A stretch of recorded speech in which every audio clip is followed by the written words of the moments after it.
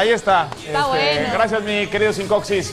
Vámonos con el reporte de Paco Zamora, este, hoy en el campamento de Tigres allá en la Riviera Maya. Evidentemente la nota pues fue la salida de Lobos Claro. en la mañana, ¿no? Pero Claro, hay claro. algunas otras cosas que reportar y aquí está Paco.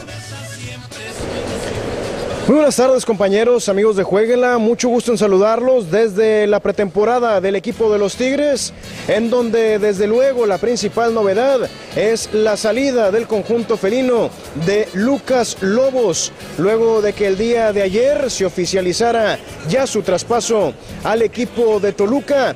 Este mediodía, el jugador argentino naturalizado mexicano tomó sus cosas y abandonó el hotel de concentración del equipo de los Tigres para viajar a Monterrey, en donde estará llegando en punto de las 4 de la tarde con 30 minutos, debido a que el día de ayer ya nos había atendido amablemente Lucas Lobos después de la cena. Lobos no quiso dar declaraciones de su salida del equipo de los Tigres el día de hoy. Quien sí pudo hablar con los medios de comunicación es el refuerzo felino Hércules Gómez, precisamente acerca de la salida de Lucas Lobos. Aquí lo escuchamos. Lucas Lobos, que me imagino esperabas compartir cancha con él. Claro que sí, digo, como delantero siempre es, eh, es lindo tener compañeros así, que sabes que, que te pueden surtir de goles y, y asistencias y eso, ¿no?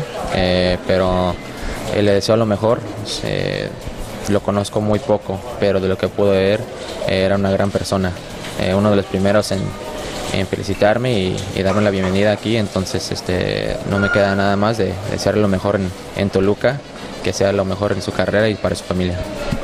Bueno, pues ahí está la situación de Lucas Lobos, compañeros. Desde luego que estas son las imágenes precisas del momento en que abandona el hotel de concentración. Imágenes de nuestro compañero Alan Huerta, que estuvimos presente desde las 7 de la mañana. No tenía horario de salida Lucas Lobos del hotel de concentración. Incluso canceló un taxi que había venido por él y fue gente del club de Tigres quien lo trasladó hasta el aeropuerto de Cancún y en unos minutos más estará llegando a la Sultana del Posteriormente se integrará a la pretemporada del Toluca. Hasta aquí el reporte, compañeros. Regresamos con ustedes.